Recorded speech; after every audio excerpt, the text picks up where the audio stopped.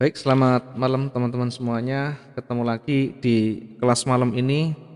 Sebelum masuk di materi, silakan pastikan audio dan visualnya berjalan dengan baik sehingga nanti tidak mengganggu ketika ada materi yang kita sampaikan.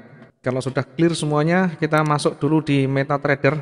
Materi uh, kita akan bahas nanti setelah kita membahas di uh, market Ya, kita coba untuk hari ini kita membahas market hari ini. Jadi ketika kita menghadapi market yang dua arah yang betul-betul yang kuat, maka di situ kita jangan masuk atau tiarap istilahnya. Apalagi marketnya berjalan pelan. Kalau cepat-cepat sekalian, kalau pelan akan sangat membahayakan. Akan saya coba untuk mengawali, jadi untuk awal kita akan coba untuk membuka bagaimana kita membuat dulu Eh, kita tentukan dulu titik support dan resistennya dulu. Di pagi-pagi kita bisa tentukan support dan resisten dulu. Yang terpenting utama ketemu dulu. Yang pertama yang penting ketemu dulu uh, candle bukaan satu hari. Ya, kita lihat ini candle bukaan tidak peduli warna hijau, merah atau apa. Yang terpenting satu candle bukaan sudah terbentuk. Kemudian di sana kita uh, tarik titik pusatnya di tengah-tengah di sini. Kemudian kita lihat hari yang sebelumnya, hari yang kemarin, kita lihat ekor dan ekornya ada di ujung sini sama di ujung sini. Kemudian kalau kita bingung yang mana dicari, kita ukur dari keseluruhan kira-kira sepertiganya. Ya, sepertiga dari candle ini yang mana? Ya, kalau kita ukur sepertiganya mungkin sekitar ini ya. Jadi sepertiganya begini. Maka yang nanti eh, cocok atau sejalan dengan rejeksi yang ada, yang terdekat adalah yang yang atas. Kalau yang bawah jauh. Maka yang atas inilah yang sejalan. Ya kurang lebihnya segini. Ya karena ada rejeksi maka kita luruskan dengan rejeksinya. Kemudian kalau ketemu yang atas, maka yang bawah tinggal menyelaraskan atau menyeimbangkan. Oke, selesai. Ini adalah titik support dan resisten bantu yang kita buat. Sekali lagi, titik support dan resisten ini bukan untuk kepentingan perusahaan, bukan untuk kepentingan broker, bukan untuk kepentingan publik, tetapi untuk kepentingan kita sendiri untuk mengidentifikasi lebih awal apakah nanti marketnya dia akan bergerak lanjut atau sebaliknya dia akan berbalik arah. Ya, tentu ini ibaratnya rabaan awal nanti kita bisa kombinasikan dengan dalil-dalil yang lain, bisa dengan eh, pola-pola yang terbentuk di sana, bisa dengan rejeksi atau ekor yang terbentuk nanti di sana seperti apa. Kita perhatikan semua. Tidak bisa hanya support resisten. Namun secara umum ketika breakout maka ini dia berpotensi akan lanjut. Kemudian kita coba geser ke kanan. Nah, ini mulai arah kecenderungannya mulai turun. Sebenarnya saya pernah membuat uh, dalil sendiri, artinya pernah membuat uji coba sendiri, di mana uji coba saya lakukan tingkat keakuratannya ya 60-70 persen. Seperti apa yang kita buat? Yang pertama, ketika di awal candle bukaan ini warnanya hijau, maka e, nanti berikutnya di sana berpotensi untuk turun atau ada candle yang akhirnya akan turun. Sebaliknya ketika merah maka dia akan berpotensi naik. Perhatikan dia, kenapa tadi pagi saya masuk sel di awal, di ujung di sana. Padahal belum ganti candle. Tetapi saya yakin uh, saya masuk di menit-menit terakhir di 56 menit sehingga kurang 4 menit, kurang 4 menit ini sekal, uh, saya saya pikir kurang dari 4 menit uh, sangat kecil kemungkinan kalau menghabisi semua bodinya. Apalagi masih pagi, pergerakannya saya lihat pelan sekali. Karena itu di awal ketika sudah mau ganti candle dan bodinya utuh di atas, saya masuk sel di sana. tentu target saya tidak muluk-muluk sampai banyak sekali ya. Cuma mungkin sekitar seratusan. 100 pip saya close di sana ya. Kalau menggunakan 0,75 100 kan lumayan. Tadi saya sempat 1,25 tapi tidak terlalu jauh ngambilnya. Mungkin eh, sekitar tidak sampai 100 pip saya keluar. Mengingat lotnya besar kemudian masih pagi juga. Yang penting profit amankan dulu. Kalau sudah profit kita amankan artinya pasti menjadi milik kita. Apakah kalau bukaan ini warna hijau berikutnya terus turun? Secara mutlak tidak tetapi secara umum iya. Perhatikan yang sebelumnya ini warna merah berarti potensi berikutnya ada candle yang akan naik nanti ya naik bukan berarti seterusnya naik artinya ketika kita entry di sana kita ada profit itu intinya jadi inti dari yang kita buat analisa ini tentu untuk kepentingan kita untuk membaca peluang di sana. Apakah ini 100%? Tidak ada yang 100%. Ya, yang paling penting tentu harus tetap mengutamakan money management dan risk management. Perhatikan yang di sebelah ini candle bukaan warnanya hijau. Maka candle berikutnya ada potensi turun ini langsung turun. Ya, kalau kita cuma 100 200 pip ya enteng sekali. Ini ribuan. Berikutnya kalau kita coba di sini warnanya hijau. Berarti ada peluang potensi di candle berikutnya akan ada turun nanti. Ternyata eh, satu candle satu candle ini sudah kita untung 200-an 250 255 pip kalau target kita hanya 100 pip saja maka di candle itu langsung dibayar tunai kalau kita tunggu masih banyak kalau kita tunggu lagi banyak sekali lagi tetap mempertimbangkan resiko manajemen dan money management karena semuanya market tidak bisa dibaca secara mutlak semuanya tetap harus dipertimbangkan antisipasinya. Ya, nanti silakan dicoba. Bukan berarti fix tapi itulah yang kita buat e, secara umum untuk kita memahami. Biasanya saya pakai untuk mengambil peluang kecil-kecilan. Target tentu tidak terlalu banyak. Ya. Oke. Coba ini warna merah. Maka di candle berikutnya berpotensi di sana naik. Ini bukan sulapan, bukan saya buat, bukan ini. Artinya marketnya betul begini. Ya, ini sebagai tambahan ilmu saja. Jangan terus serta-merta nanti dijadikan dalil, oh katanya kalau hijau pasang sel. Ya, saya kan ngomongnya tetap diperhatikan antisipasi risk management dan money management. Saya tidak bisa membuka ini sebagai dalil yang benar atau dalil yang akurat tetapi bagi saya karena saya sudah menjalani hanya saya gunakan untuk diri saya sendiri. Karena yang paling penting yang perlu saya ajarkan dan sampaikan tentu candlestick dan price actionnya. Kalau candlestick ya ada ilmunya, ada tekniknya. Betul, memang kalau misalkan tekanan ke bawah, kalau ada tekanan ke bawah begini, ini berarti trennya kuat turun gitu. Kelihatan kalau dari candlestick. Tapi kalau dalil yang ini ya mungkin hanya kita uh, fahami dan ya tidak ada salahnya kalau teman-teman mau mencoba. Ya, jadi ini betul-betul uh, dijadikan bahan tambahan. Kenapa tadi saya bisa masuk teman-teman bertanya, alasannya apa?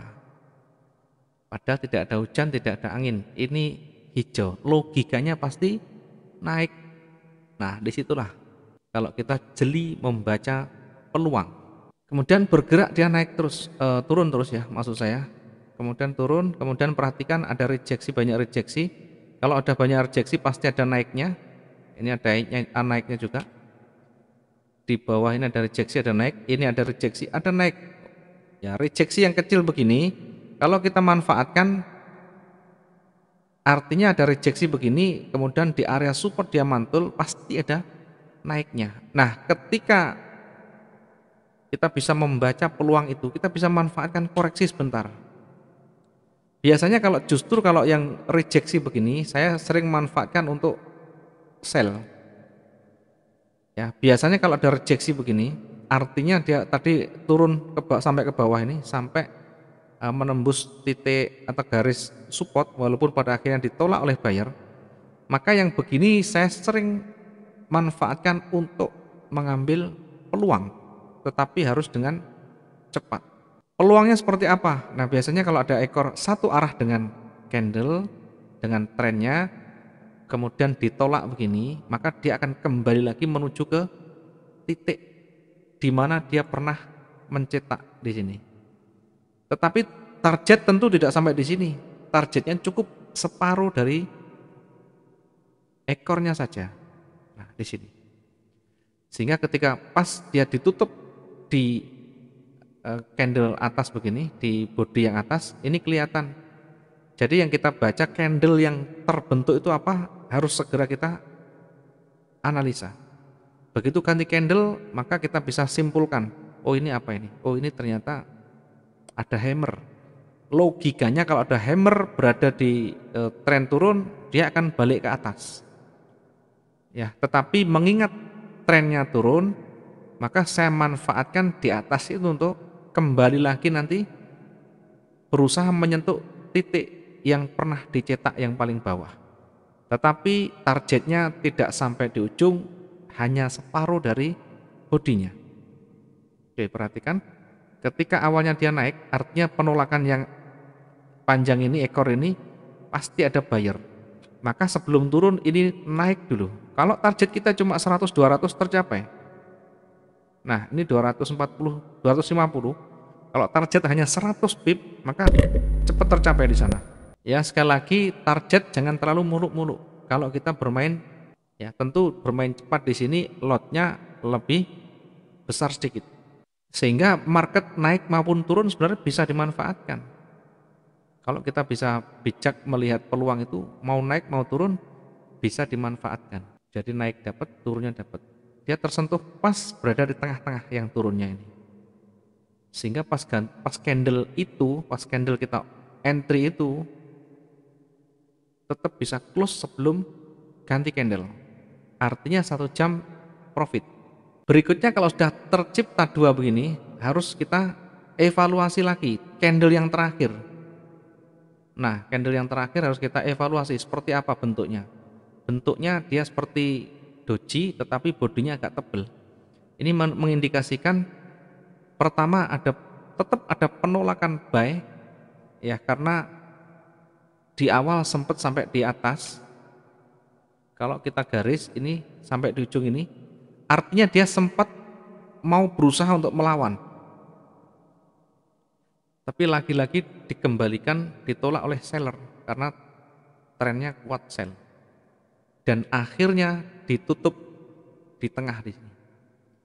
Walaupun ada penolakan, walaupun ada perlawanan buy, tetapi tetap diakhiri dengan sell yang mendominasi. Kalau kita baca tangganya ya dari atas di sini tangganya makin lama makin turun. Dari tinggi menjadi rendah menjadi rendah menjadi rendah. Artinya apa? Artinya trennya masih turun. Jangan bingung bye-bye terus. Walaupun mungkin di awal ada ini ada penolakan banyak. Ada kayak seperti mau naik. Selagi tidak ada sinyal reversal ke atas yang kuat jangan coba-coba untuk melawan. Ya. Kecuali tentu hanya manfaatkan rejeksi atau koreksinya waktu itu. Misalkan ini turun, kemudian kita lihat menit waktunya sudah 45 ke atas. Jadi waktu perhatikan nanti kalau kita uh, trading, kita bagi menjadi empat zona.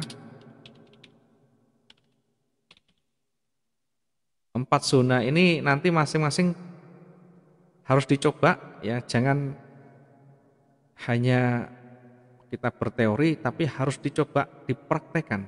Zona yang pertama ini di 15 menit pertama 15 menit pertama.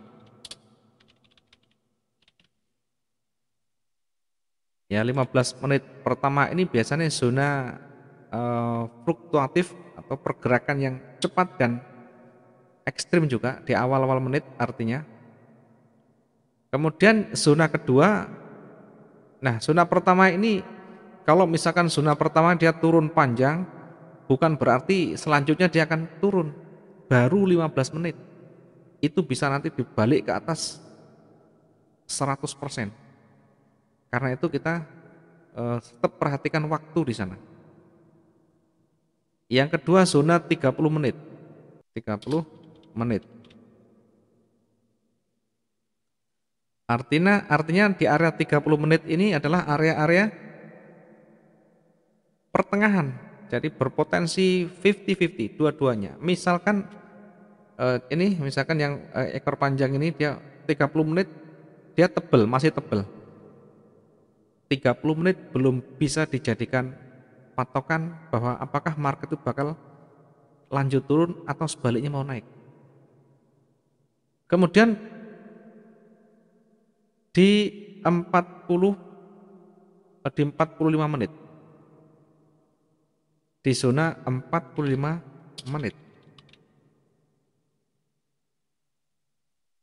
Nah, zona 45 menit ini adalah zona-zona di mana candle itu sudah mulai stabil.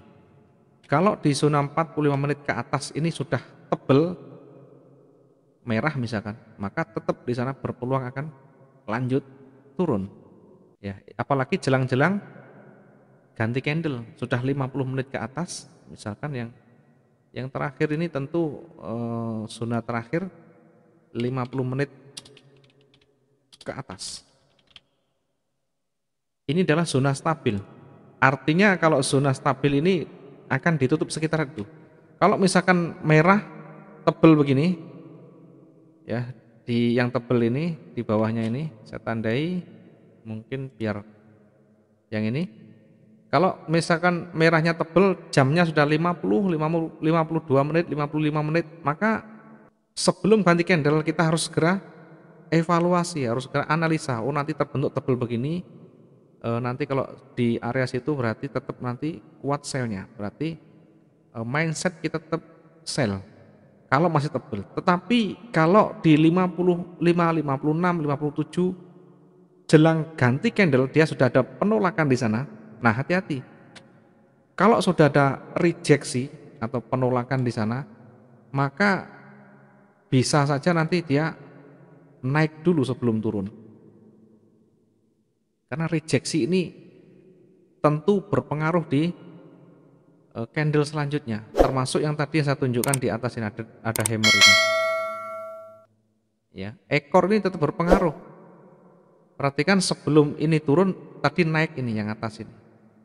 Termasuk ini, ternyata ditutup di sini, ditutup di sini, ya tutupnya di sini. Ya, di sini ini adalah tutupannya. Maka mindset kita tetap sell, ya mindset kita tetap sell, tetapi jangan lupa ada rejeksi di sana.